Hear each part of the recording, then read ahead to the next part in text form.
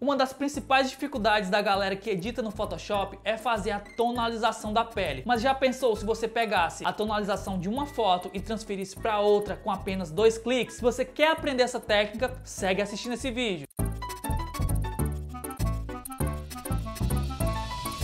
Já estou aqui no Photoshop e essa vai ser a foto que a gente vai fazer a tonalização da pele. Se eu aproximar aqui, dá pra ver de forma bem clara que a pele tá um pouquinho esverdeada, um pouquinho azulada, então a gente vai corrigir isso. Mas para corrigir, a gente precisa de uma foto de referência. Então eu já separei aqui, ó, uma foto de referência. Você pode pegar uma foto do Instagram ou uma foto sua mesmo, mas o importante é que você tenha uma foto de referência. O que é que eu vou fazer? Vou pegar essa primeira ferramenta aqui, ó, eu clico nessa camada e arrasto para o lado da foto onde eu quero corrigir. Aqui eu vou dar um Ctrl T só para diminuir e deixar aqui bem próximo. Beleza, Enter. Agora eu vou fazer o seguinte, eu vou selecionar essa máscara, essa foto de referência que eu acabei de colocar. Eu vou pegar o pincel e vou fazer o seguinte, eu vou selecionar uma área de meio tom da pele dela, seguro Alt, vou clicar nessa região aqui de meio tom e vou pintar aqui beleza? Vou pintar aqui para ficar mais fácil. Agora eu vou adicionar um ajuste de níveis. Ele fica aqui em cima, ou você pode vir aqui embaixo, clicar e escolher níveis. Show de bola. Aqui eu tenho três conta-gotas. Eu vou escolher esse conta-gotas do meio, vou dar dois cliques, mais uma observação importante. Aqui eu tô com a máscara selecionada.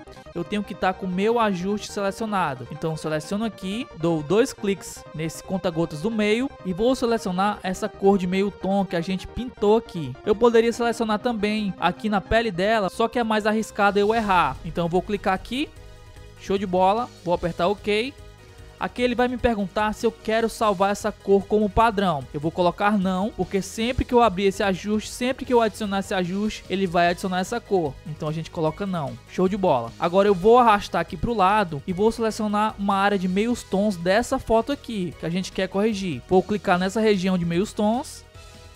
Show de bola. Agora para ver se realmente ficou parecido o tom de pele, eu vou descer esse ajuste, ó para atingir somente a camada de plano de fundo, que é a nossa foto original. E aqui a gente pode comparar os tons de pele. Ó, ficou bem parecido antes, depois. Não vai ficar 100% igual porque a iluminação é diferente, tá? Essa foto da esquerda tá bem mais contrastada. Agora deixa eu desativar essa camada de cima para a gente ver o antes e depois. Ah, Bruno, mas você também atingiu o ambiente, eu queria atingir somente o tom de pele. Show de bola. Então a gente vai fazer o seguinte: eu vou selecionar minha camada de plano de fundo, vou pegar minha ferramenta de seleção rápida, que é essa aqui, ó. Clica e vou clicar aqui, ó, em selecionar assunto. Quando eu clico, o Photoshop ele vai fazer uma leitura da imagem e vai selecionar somente o assunto principal da foto. Aqui em cima, eu vou clicar com o botão direito na máscara e vou excluir a máscara de camada. Agora eu só venho aqui embaixo e vou criar uma máscara. Quando eu crio uma máscara, o Photoshop já faz o recorte para mim, aplicando o ajuste somente na região onde a gente selecionou. Então aqui, onde está preto é onde o ajuste não está pegando e onde está branco é onde o ajuste está pegando. Então aqui, ó, antes, depois, eu consegui fazer esse ajuste somente no meu assunto principal que é a modelo, beleza?